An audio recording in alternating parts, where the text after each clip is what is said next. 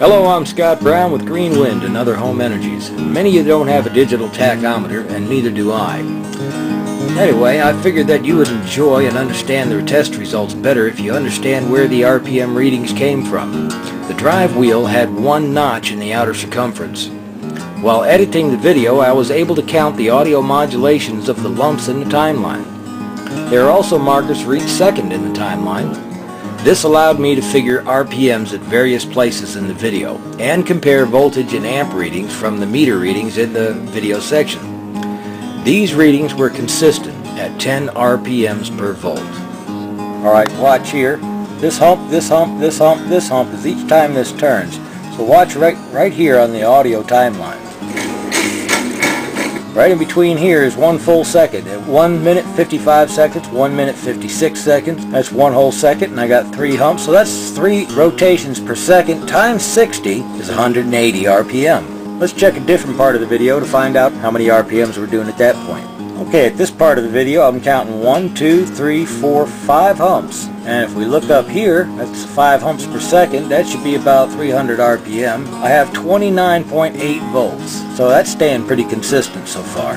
Okay, and looking at it here, I got one, two, three, four, five, six. That one's kind of a weak one there, but that's 6. So that's 6 in between 2 minutes and 18 seconds and 2 minutes and 19 seconds. Check the voltage reading up here on the meter. At that point, I'm looking at 36.9. So 36.9 is about 37 volts, and I've got 6 beats per second. 6 times 60 is 360 RPMs.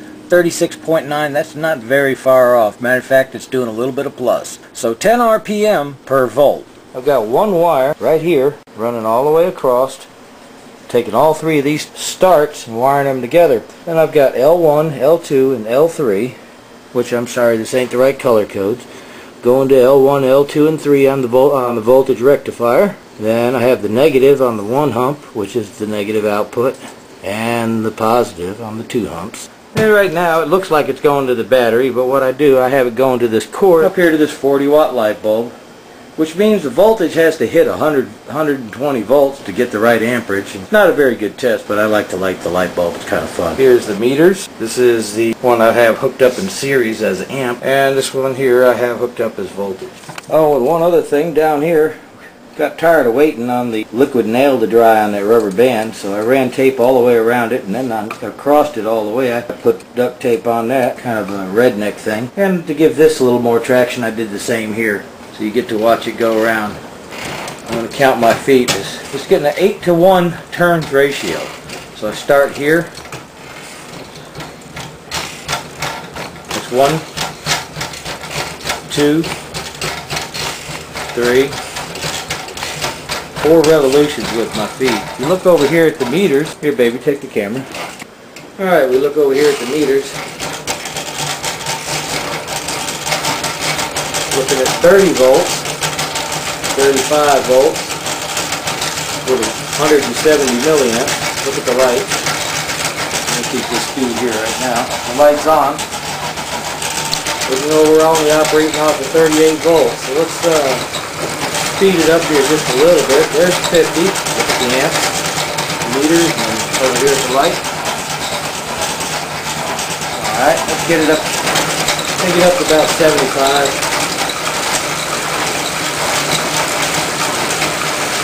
There's 75 volts. We're looking at 250 milliamps. And the light looks like it's on full brightness. Crank it up to 100. And we're looking at 300 milliamps. And looks like the light wants to blow, but we're at 300 milliamps and 100 volts, we're only doing 30 watts. You can't pedal no faster than that. You know it's not really slowing the alternator down, it's got more of a flywheel effect.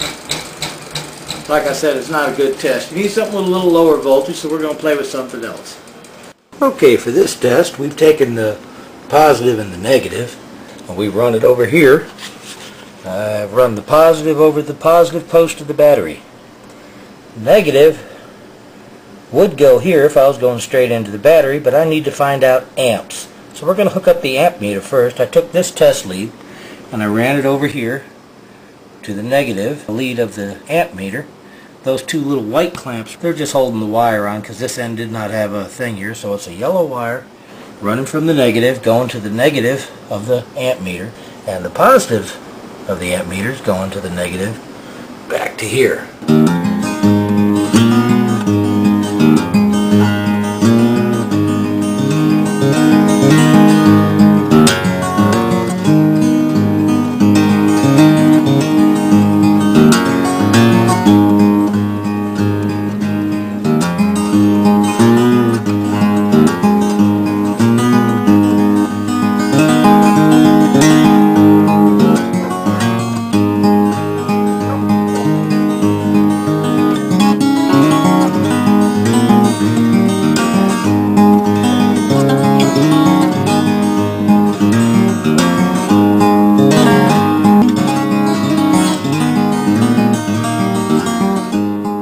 So it's the same, just to save confusion, as hooking up here, except I have inserted the meter in series.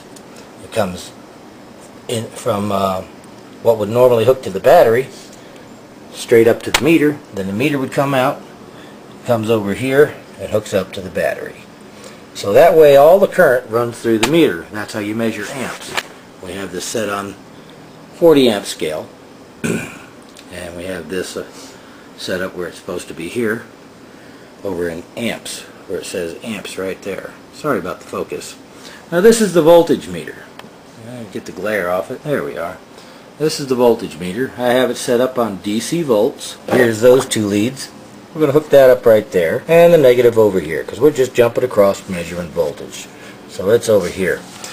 One problem I found out with playing around here a little while is this battery's dead it won't hold the charge and it really doesn't accept the amps that well. So I'm going to go ahead and hook this 300 watt scooter motor, kind of like a tape drive motor. It's 300 watts at 24 volts, so that means that should be able to take about 12 amps. We're not going to see 12 amps. I don't think I can push out 300 watts. Well, we're going to give it all I can. So anyway, I'm going to use the clamp here and hook this up and use the clamp here to hook this one up. Okay, well now we have those two hooked up and the little motor's running over over here. It ran for about all of about three seconds.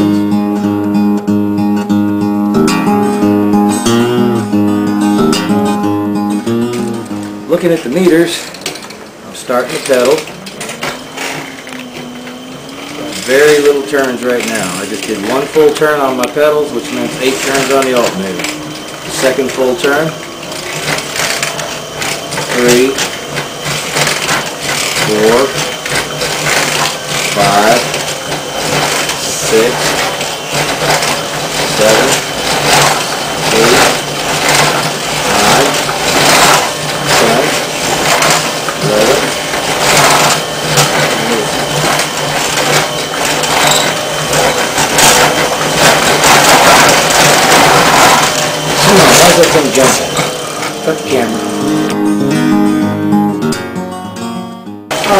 Doing about 4 amps, 18 volts.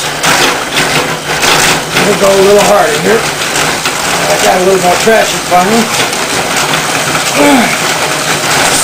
No, just slipping. I ain't got enough traction. But as you notice, the motor's still running and the battery just drained out. Okay, if you look up here in the upper left-hand corner where I'm looking at, right here, there's a piece of wire. And it goes down, follow that little mouse thing as I shrink the picture. Whoops. Goes right on down. You'll see that it comes right about here, underneath that, right there. And down in between the red and black wire right here, and then goes all the way down here to the floor and curls like this. This piece of wire, that wire there, is this piece of ceiling tie wire right here. Went around this piece of all, that piece of all thread right here and up to the handlebars which lifted this up off the wheel so we could work on it. We just didn't take it off because we didn't think it would get in the way. Anyway, so it did. It shorted out the diode bridge, melted the red test lead to the black test lead. Also, it popped two of the diodes of the six diodes that are in the diode bridge rectifier. Okay, so I got everything hooked up the same as I did before, except I've got the battery out of the circuit. The battery just kind of messes things up. So it's 24 volts, 300 watts. You'll see it'll take its own voltage and wattage. Don't think I can do 300 watts, but we're going to give it everything I got here. the motor's starting to turn already one pedal, two pedal, You settle. Voltage is climbing nice.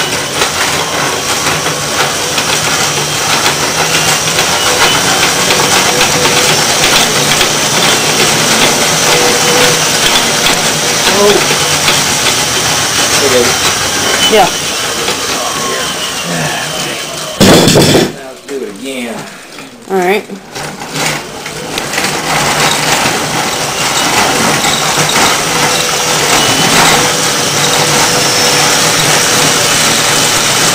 Back off, Jen. Let's get some focus. Dude, it's focus. That's all I can do. Shorts out over here with this goofy thing. There we go. Now, one more time.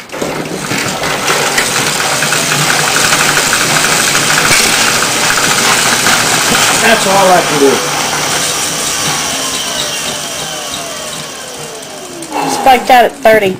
Huh? Spiked out at 30 on this one. I know it does more than that. Oh, shorted through one of my leads. It's getting hot. I'm Scott Brown with Green Wind and Other Home Energies. Many good things to you and yours. You see, we had a problem on the last test. Is it on? Mm-hmm. We had a problem on the last test. We kind of melted this one. It kind of stuck to the black wire and it, it blew here like a fuse. I saw the spark. Lots of fun. Let's see if the other ones will hold up.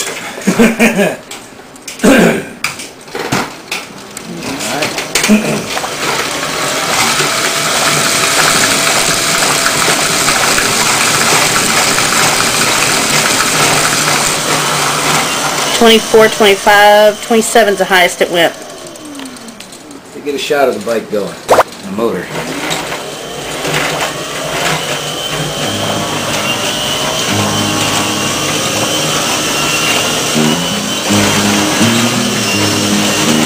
Now it's at 55.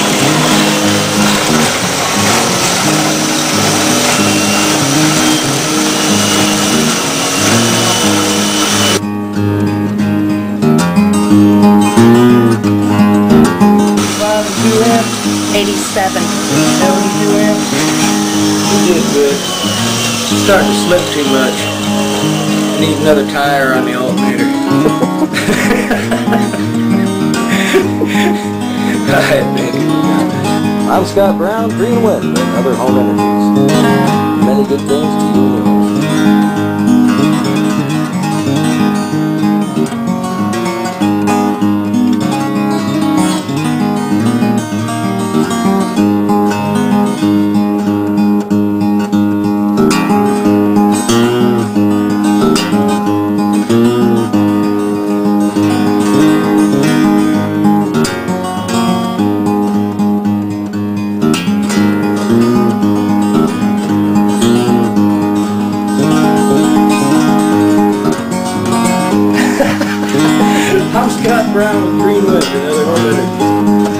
I'm Scott